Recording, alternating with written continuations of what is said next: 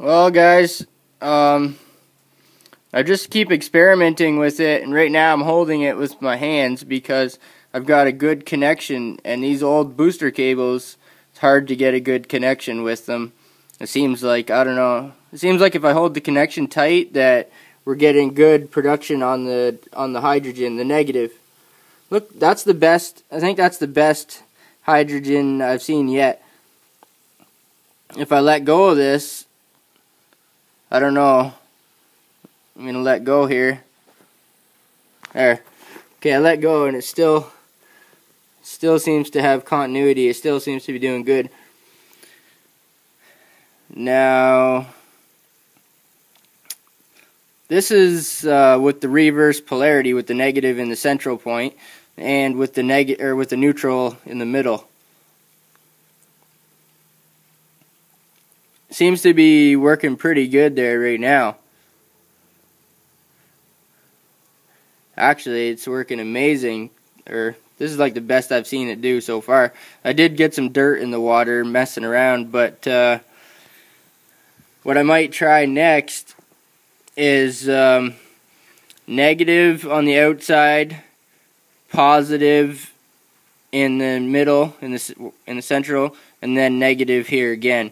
So I might try negative, positive, negative, and see if I get to see how the production is, or see if it makes any difference. And right now I'm just running the 60 amp battery there, or cranking amp battery with no with no um, with no help from the battery charger. So if I put the battery charger on here to simulate like an alternator, to simulate uh, an alternator charging, or to simulate higher amperage, um, it might make a difference.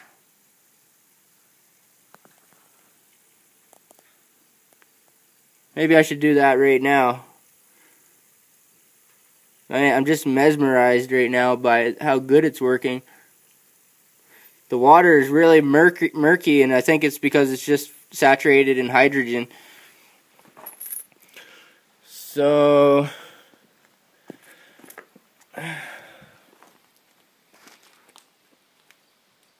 there's a little uh, cheap battery charger there.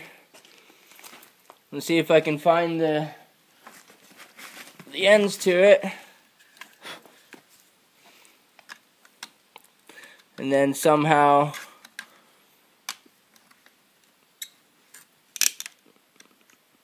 somehow try to get some extra amperage.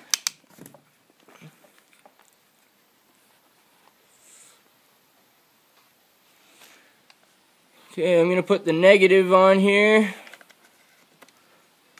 And then I'm going to turn the charger on 12 amps.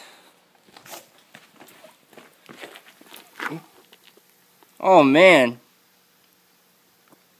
Wow. Wow. Wow. There's like, can you see the smoke? There's like steam and smoke. Is it getting hot? No. It's nice and cold. You can see the hydrogen gas like steaming. I can see it like steaming off of the the vapors because the oxygen bubbles and the hydrogen bubbles are so small. They're so tiny. Oh man, this is awesome. This is one of the best. Uh, I've only played around with this experiment like twice, two or three times maybe, but this is the best uh, production I've had so far. If, if I was to put these wires and uh, somehow run them in through the lid with an airtight lid and put a hose on here to see uh, run it to a flashback arrestor just to see how much bubbles or how much hydrogen or try to light it on fire. I'll probably end up doing that next. Man, it's crazy how there's like vapors coming. There's like there's like it looks like smoke sometimes. Every now and then it looks like a puff of smoke coming off. And it's not just in the water. I can see it in the water, but I can see it in the air. Can you see it in the air? That's awesome. That's awesomer as frig, boys. Anyway, this video is five minutes long. And uh, lately I've been having troubles with my upload speed. If you know how to make a DSL go faster, let me know. I could use help with that. Anyway, five minutes is probably long enough. I'll have to make another video when I do some more.